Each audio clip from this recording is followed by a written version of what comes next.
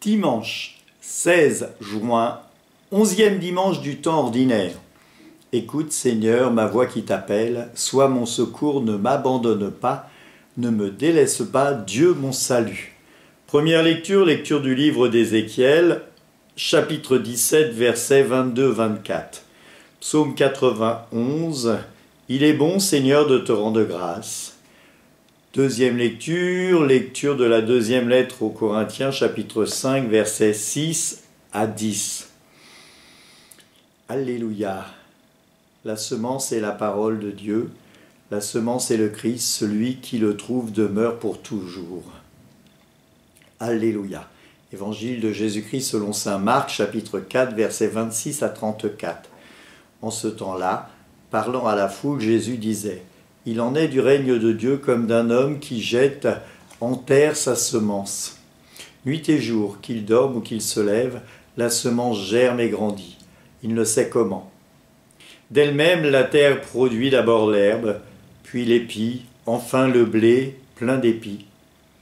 Et dès que le blé est mûri, il y met la faucille, puisque le temps de la moisson est arrivé.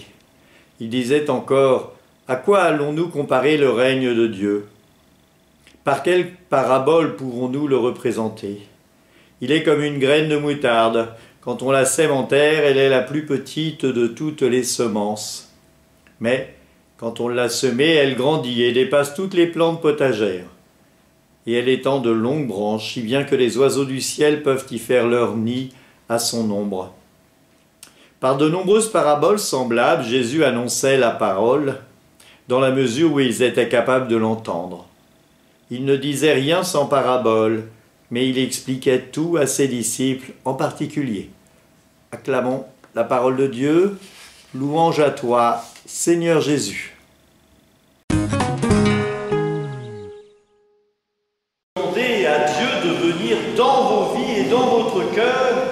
Pour qu'il grandisse et que votre foi grandisse comme cette graine qui est toute petite et qui donne l'abri aux autres. Votre demeure doit être l'abri du Seigneur, mais l'abri aussi des autres. Saint Paul, dans sa lettre, nous invite à comprendre, et c'est une tentation qu'a Saint Paul, j'ai une mission sur terre, mais comme j'aimerais bien être auprès de Dieu, comme j'aimerais bien que Dieu m'accueille dans son amour. Et donc, si Dieu accueille dans son amour le jour de sa mort, eh bien il sera dans une béatitude céleste. Mais il rajoute, j'ai une mission sur terre, celle d'annoncer l'Évangile. Si je n'annonce pas l'Évangile, je suis une lettre morte et ma mission n'a plus de sens. Vous faites, vous, la profession de foi aujourd'hui. Vous allez dire que vous croyez en un Dieu qui est Père, Fils et Saint-Esprit. Ça, on vous l'a expliqué. Un Dieu en trois personnes. S'il y a un Fils, c'est parce qu'il y a un Père. Et on ne peut être que fils que si on a un père. Et on devient père que lorsqu'on a un fils. Et l'Esprit Saint, c'est ce sentiment d'amour qu'il y a entre le Père et le Fils. Et donc nous allons prendre tout à l'heure le symbole de Nicée-Constantinople qui développe bien les trois personnes. Le Père créateur, le Fils qui s'incarne, qui est Jésus, vrai homme et vrai Dieu dans notre vie, et puis l'Esprit Saint, qui procède du Père et du Fils et qui vient en nous. Vous avez reçu le jour de votre baptême l'Esprit Saint, et j'espère que bientôt vous ferez votre confirmation et vous recevrez l'Esprit Saint en plénitude. D'ailleurs, ceux qui n'ont pas fait leur confirmation ici et qui sont adultes, il n'est pas encore trop tard. 19 adultes fait leur confirmation cette année dans la paroisse et 13 d'entre eux ont déjà pris une mission. C'est important. vous faites votre profession de foi pour pouvoir continuez de vivre votre foi avec le Seigneur. Si vous pensez que c'est fini, vous vous êtes trompé. C'est une étape complémentaire. C'est une continuation de faire grandir en vous cette graine de foi qui va porter autour de vous l'espérance et l'annonce de la vie éternelle de Dieu qui nous ressuscite et qui nous fait entrer dans son royaume. Qu'est-ce que le royaume de Dieu? C'est ce qu'il nous dit. Comment pourrais-je comparer le royaume de Dieu? Comme cette graine, comme cette euh, grain d'épi que l'on sème, et les animateurs et les catéchistes, eh bien, ont aussi cette question qu'ils se posent. Est-ce que la semence que je jette en terre dans ces enfants porte du fruit? Et parfois, ils n'ont pas de réponse.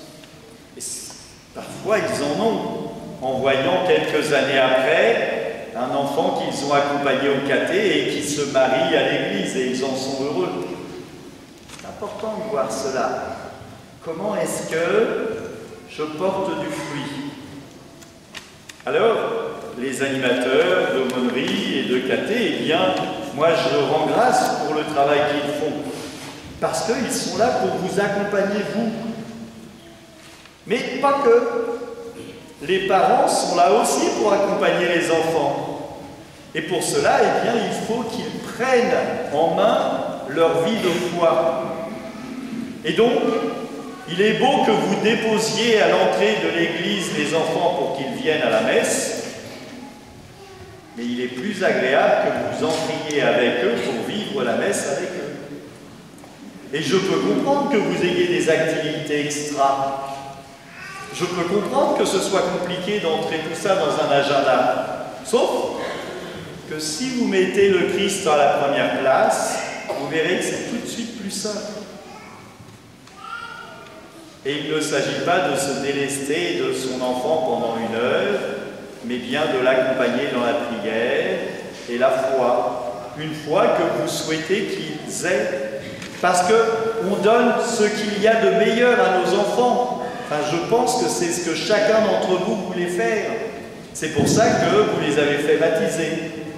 C'est pour ça que vous les avez inscrits au caté. C'est pour ça que vous êtes heureux qu'ils soient bien habillés, beaux, qu'ils aient fait et qu'ils fassent leur profession de foi. C'est pour ça qu'il y en a un qui va faire sa première communion et c'est une grande joie, les autres l'ont déjà faite. Parce que vous voulez qu'ils aient quelque chose de bon.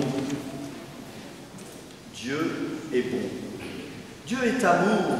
Et cet amour, elle est pour tous. Pas seulement pour les enfants et les parents qui vont jouer au hockey ou qui vont dans d'autres lieux, je ne sais. Et si Dieu a de l'importance pour vous, Dieu vous attend à la messe. Alors vous êtes témoins, vous, les enfants, de l'amour de Dieu, et je vous invite à être témoins auprès de vos parents de ce que vous ressentez. Vous avez dit vos mots de la profession de foi hier, vous avez plutôt dit votre profession de foi avec vos mots. Aujourd'hui, vous allez les dire avec les mots de l'Église. Tu vas recevoir la première communion aujourd'hui, commencera, on commencera par toi, et tu vas recevoir aujourd'hui non pas l'hostie, mais comme je te l'ai expliqué, le pain et le vin qui sont mis sur l'autel par la prière et les mots consécratoires du prêtre et la prière de l'Assemblée, et surtout l'action de l'Esprit Saint, devient corps et sang du Christ. Et c'est vraiment le corps du Christ qui va venir en toi. Hier, tu as goûté l'hostie, tu sais quel goût ça a. C'est pas terrible. Hein. Mais là, tu vas recevoir le corps du Christ. Et là, c'est autre chose, quelque chose de bien plus grand, bien plus fort, qui va te nourrir spirituellement quand tu m'enduqueras le corps du Christ. Mes frères, c'est une grande joie d'accueillir ces 26 enfants pour la profession de foi. C'est une joie pour moi, prêtre, de vous accueillir, vous, parents, dans cette célébration, afin que vous puissiez voir vos enfants grandir. Mais je vous invite instamment à les accompagner, à les guider, à remettre place la prière de famille dans vos maisons. C'est important. D'autant plus que mois de juillet et mois d'août, vous allez être partis à gauche et à droite, et les églises, vous risquez de ne pas trouver de messe ou de ne pas en chercher. Alors, n'hésitez pas, priez en famille, que le Seigneur vous guide tous, lui qui est amour et qui vous aime. Amen.